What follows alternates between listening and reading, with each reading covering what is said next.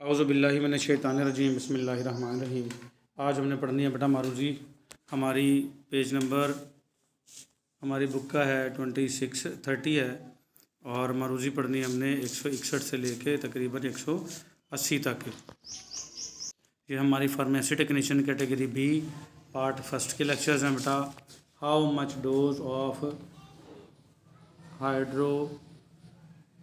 hydroxocobalamin hydroxycobalamin is necessary for every three months for the rest of the patient life.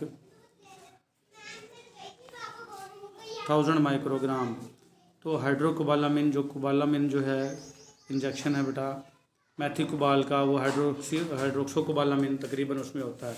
और वो तकरीबन हर तीन माह के बाद उसकी हज़ार माइक्रोग्राम की ज़रूरत होती है। तो आप को अगर मरीज़ है अनीमिक पेशेंट जिसको अनीमिया खून की कमी है तो उसको तकरीबन हर तीन माह के बाद एक आध इंजेक्शन लगवा लेना चाहिए। तो ये हज़ार माइक्रोग्राम की ज़रूरत होती है। फिर आ जाएगा cheilosis is cause by cheilosis कहते हैं बेटा, जो आपके मुँह है ना, उसके जो जो खाने वाला मुँह है, उसके जो किनारे हैं ना, वो अक्सर अवकात बच्चों के पक जाते हैं। आपने शायद देखा अक्सर पके होते हैं तो उसको चिलियोसिस कहते हैं। चिलियोसिस किस वजह से होता है? फोलिक एसिड डेफिशिएंसी अनीमिया अगर उसके अंदर फोलिक एसिड की कमी हो गई है और उस कमी की वजह से खून की कमी हो गई अनीमिया हो गया है तो क्या कहलाएगा? चिलियोसिस हो जाएगा। फिर आ जाएगा the daily dose of folic acid folic acid की डेली डोज कितनी होनी चाहिए? पाँच मिलीग्राम आपने अक्सर का देखा होगा, जिन औरतों को हमल होता है प्रेगनेंसी होती है डॉक्टर उनको टैबलेट लिख देता है फोलिक एसिड की। वो छोटी सी डब्बी में मिलती हैं छोटी छोटी काफ़ी सारी गोलियाँ होती हैं। वो कहता है, हर रोज़ आपने एक गोली इसमें से खा लेनी है। तो पाँच मिलीग्राम की होती है तो फोलिक एसिड से खून की कमी नहीं होती। तो पाँच पाँच ग्राम, पाँच मिलीग्राम उसकी डेली डोज है बेटा। One inadequate amount of iron is present for haemoglobin synthesis haemoglobin जो क्या है, आपके रेड ब्लड सेल में होती है बेटा, और ऑक्सीजन को लेके जाने का काम करती है, रंग इसका लाल होता है, और इसकी तैयारी के लिए आयरन की ज़रूरत होती है लोहे की या फ़ी की, और एफ़ ई जब आयरन लोहा उसकी मकदार कम हो हीमोग्लोबिन बनाने के लिए द कंडीशन इस कार्ड इस कंडीशन को हम कहते हैं आयरन डेफिशिएंसी एनीमिया तो इससे खून की कमी हो जाती है और इस खून की कमी को क्या कहते हैं? आयरन डेफिशिएंसी एनीमिया अनीमिया वैसे खून की कमी है बेटा, और ये आयरन की वजह से हुई है आयरन की कमी से हुई है। तो इसलिए हम क्या कहेंगे? Iron deficiency anaemia koilonychia glossitis and angular stomatitis dysphagia are caused by iron deficiency anaemia ये बेटा सारी की सारी बीमारियाँ हैं बेटा, ये सारी की सारी किसकी वजह से होगी? आयरन डेफिशिएंसी एनीमिया की वजह से। तो ये जो बीमारियाँ हैं बेटा कोयलोनीचियास ये है आपके नाखून चम्मच की तरह हो जाएँगे। आपके नाखून ऊपर, बाहर की तरह उभरे हुए ना तो अंदर की तरफ़ मुड़ जाएँगे ऐसे लगे जैसे चम्मच अंदर से नहीं मुड़ी होती। कोयलोनीचियास जिसको कहेंगे बेटा ग्लोसाइटस कहेंगे। आपका ज़बान सूझ जाना इसको हम इंग्लिश ये बेटा मेडिकल के अल्फाज हैं। आप इसको स्वेलिंग ऑफ़ टंग भी कह सकते हो ग्लोसाइटस को। ज़बान का सूज जाना। एंगुलर स्टोमाटाइटस और चिलियोसिस एक ही है बेटा। मुँह के किनारे पक जाना और डिस्फेजिया निगलने में मुश्किल होना। ये सारी बीमारियाँ किसकी वजह से होंगी? आयरन डेफिशिएंसी नीमिया की वजह से। जो आयरन की वजह से खून की कमी हुई है, उसकी वजह से ये सारी बीमारियाँ होंगी। फिर आएगा iron dextran can be given daily dose iron की जो टैबलेट है, ये डेली डोज कितनी देंगे? 50 से 250 मिलीग्राम। ठीक है? ये डेली डोज हो सकती है। फिर आ जाएगा iron dextran, should be given deep I M iron dextran जो है वो गहराई में आई एम इंट्रामस्कुलरिटी का लगाएँगे इसका। ठीक है? आयरन डेक्सट्रान का। In the daily dose of ferrous sulphate ferrous sulphate की डेली डोज कितनी है? 600 milligram. Break down of red blood cell is called जब ब्रेक डाउन हो जाता है रेड ब्लड सेल टूटना या मरना शुरू हो जाते हैं, इसको कहेंगे हीमोलाइटिक एनीमिया हीमोलाइसिस होगी हीमोग्लोबिन टूट रही है. रेड ब्लड सेल के अंदर असल हीमोग्लोबिन होती है ना तो हीमोग्लोबिन का टूटना हीमोलाइसिस कहलाएगा. तो ये हीमोलाइटिक एनीमिया एनीमिया खून की कमी. ऐसी कमी जिसमें रेड ब्लड सेल मर रहे हैं ब्रेक डाउन हो रहा है तो हीमोलाइटिक एनीमिया कहलाएगा. In haemolytic anaemia red blood cells are smooth haemolytic anaemia के अंदर जो है रेड ब्लड सेल बिल्कुल स्मूथ हो जाएँगे। ठीक है the number of red blood cell is in haemolytic anaemia is in number जो है रेड ब्लड सेल का हीमोलाइटिक एनीमिया में तादाद जो है वो डिक्रीज़ आना चाहिए, यहाँ पे नॉर्मल लिखा हुआ बेटा ये बेटा निशान नॉर्मल पे लगा हुआ है, लेकिन आपने डिक्रीज़ पे लगाना है। ज़ाहरी बात है हीमोलाइसिस हो रही है रेड ब्लड सेल मर रहे हैं। लाइसिस मीन टूटना या मरना। तो रेड ब्लड सेल काउंट कैसे नॉर्मल हो सकते हैं? डिक्रीज़ मिलेंगे, कम मिलेंगे।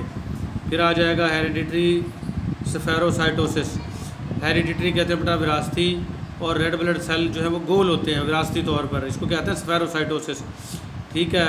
तो metabolic effect in red blood cell membrane red blood cell में जो तोड़ फोड़ का काम हो रहा होता है, उसका, उसके अंदर असर होता है। तो ये कुदरती तौर पर स्फेरोसाइटोसिस होता है रेड ब्लड सेल इसलिए इसको हेरिडाइटरी स्फेरोसाइटोसिस कहते हैं बेटा। ट्रीटमेंट ऑफ़ हेरिडिटरी स्फेरोसाइटोसिस जो हेरिडिटरी स्फेरोसाइटोसिस है, उसमें खून की कमी होगी। तो उसमें क्या करेंगे, हम फोलिक एसिड पाँच मिलीग्राम पर डे देंगे। ब्लड ट्रांसफ्यूज करवाएँगे, यानी खून लगवाएँगे उसको। Splenectomy is advisable in all mild cases. अगर ज़्यादा शदीद हो जाएगा तो सप्लिनक्टोमी का मशवरा देंगे। एडवाइजेबल का मतलब मशवरा देना। सप्लिनक्टोमी कहते हैं बेटा सप्लिन का निकाल देना तिल्ली का निकाल देना। तिल्ली क्या करती है बेटा? तिल्ली आपका store house of the store house है। जैसे आप टैंकी में आ, मुश्किल वक्त के लिए पानी जमा करके रखते हैं कि अगर लाइट ना हो तो वो टैंकी वाला पानी इस्तेमाल करते रहें। तो इसी तरीके से अल्लाह पाक ने ये सप्लिन जो है वो ये टैंकी बना रखी है एक, कि खुदा न खास्ता आपको चोट लग जाती है या आप किसी को ब्लड दे देते हो तो इसमें कुछ ब्लड जो है वो स्टोर होता है तिल्ली में। ये स्टोर हाउस है तो वहाँ से पूरा हो जाता है। लेकिन स्प्लेन का दूसरा काम भी है स्टोर करने के साथ साथ कि ये जो बीमार और बेकार सेल होते हैं ना, उनको मारना शुरू कर देती है ये स्प्लेन तो ये जो स्फेरोसाइटोसिस ऐसी बीमारी है, इसमें ये जो सेल होते हैं रेड ब्लड सेल होते तो हैं, लेकिन ये गोल होते हैं। लेकिन स्प्लीन इनको क्या समझती है कि ये बीमार हैं। और इनको मारना शुरू कर देगी। तो फिर मारना शुरू कर देगी तो खून की इंतहाई कमी हो जाएगी। तो इसलिए डॉक्टर कहते हैं, स्प्लिन को ही निकलवा दो, तिल्ली को ही निकलवा दो, ताकि ये खाम खास सेलों को मारती ना रहे। ठीक है तो इसलिए स्प्लिन एक्टोमी करेंगे, नसीहत देंगे। डॉक्टर अगर ज़्यादा शदीद हो जाएगी, फोलिक एसिड देंगे, ब्लड लगवाएँगे, और अगर ज़्यादा शदीद है तो स्प्लिन ही निकलवा देंगे। तो ये सारे के सारे इलाज हैं, आल। ठीक है, इसके हेरिडिटरी स्फेरोसाइटोसिस के। सिक्कल सेल अनीमिया सिक कहते हैं बीमार को। बीमार जो सेल हैं, उनकी वजह से खून की कमी होगी अनीमिया हो गई है। इसकी, ये किस क्या है? इनहेरिटेड जेनेटिक डिसऑर्डर ये मरूसी जिनियाती बीमारी है, जो एक नस्ल से दूसरी नस्ल में फैलती है। फिर आ जाएगा the sickle cell anaemia the H B is less than eight percent sickle cell anaemia में जो एच बी है, वो आठ से कम ही मिलेगी आपकी। In sickle cell anaemia sickle cell anaemia में the normal form of H B is H B S अब नॉर्मल फार्म जो है हीमोग्लोबिन की वो क्या होगी? एच बी एस फार्म है।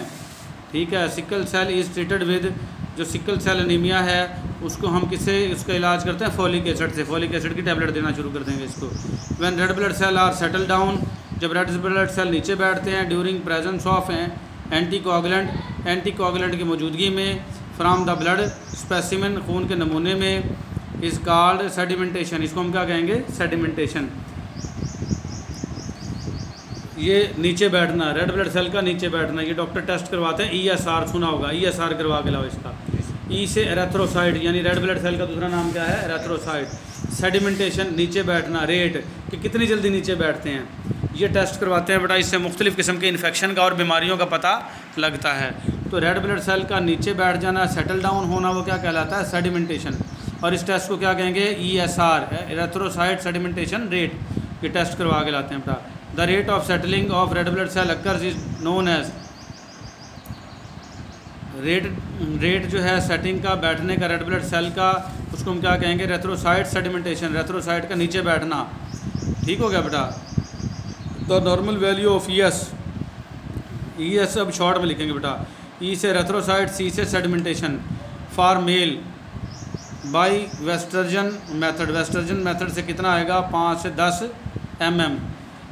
मेल में वेस्टर्जन मेथड का ई एस जो है नॉर्मल वैल्यू कितनी है? पाँच से दस एम एम है। ठीक हो गया। ये आज के लिए हमारा बेटा इतना ही। मिलेंगे हम अगले लेक्चर में। अल्लाह हाफिज़।